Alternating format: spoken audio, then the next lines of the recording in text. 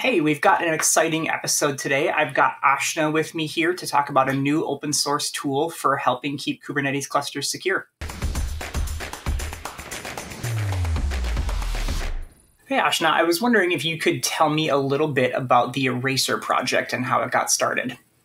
Yeah, so Eraser is an open source tool that our team developed to remove a list of non-running and non-compliant images from a Kubernetes cluster. Um, and having vulnerable images in a cluster is a pretty common issue, um, especially when images become unused. Um, and that can produce a big security risk. So Eraser helps this issue by having a process to remove um, images if they meet a specific criteria. And I know Kubernetes has its own garbage collection for cleaning up images. Um, could you talk a little bit about how Eraser is different from that process? Yeah, so Kubernetes deletes on a percentage um, load, and it doesn't take into account the vulnerable state of the images.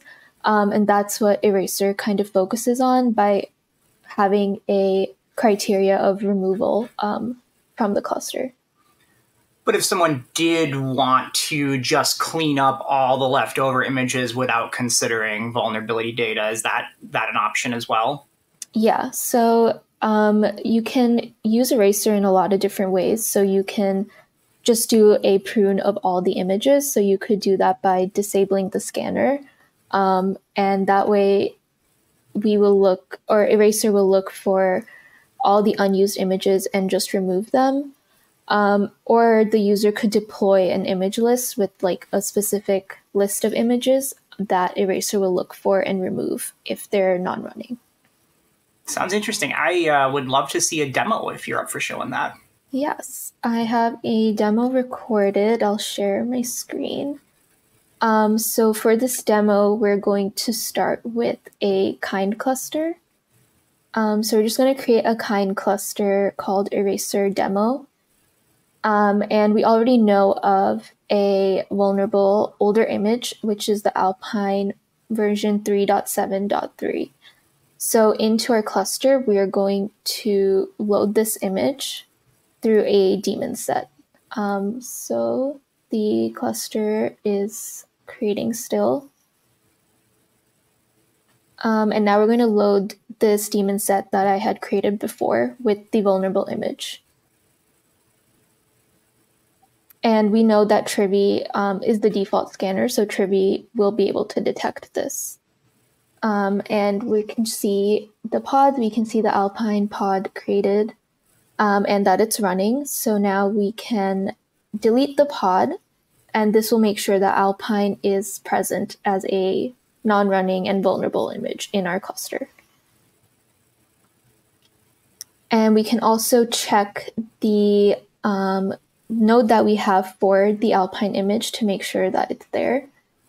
And then we're going to deploy Eraser, which will check for this image and remove it. And we can deploy Eraser with um, Helm in the Eraser system namespace.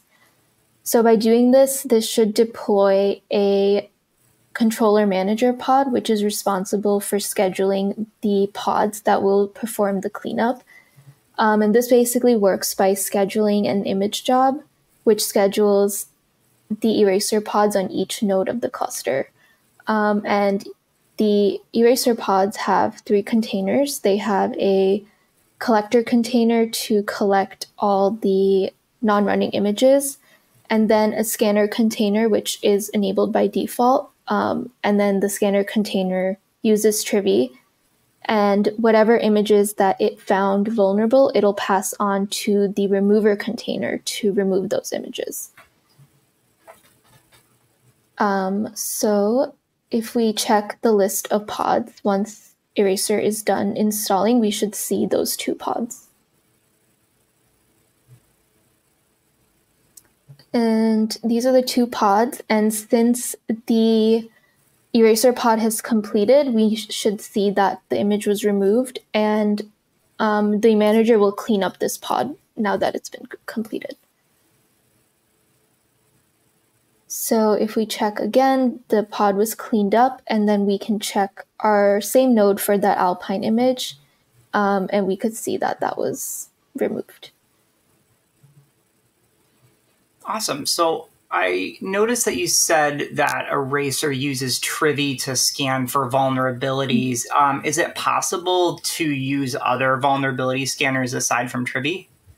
Yeah, so we have a um, scanner template. So if the users want to have their own criteria for what is reported as vulnerable, they can input that into the template, and then the template handles um, the communication with the collector and remover containers that we already have in Eraser. Awesome. Could you um, tell me a little bit more about like the community surrounding the tool and like where I could go to find out more information or contribute or anything like that? Yeah, you can find all um, the information regarding Eraser on our GitHub repo, um, and it's just under Eraser Dev. Um, yeah. Awesome. Well, thank you so much. Thank you.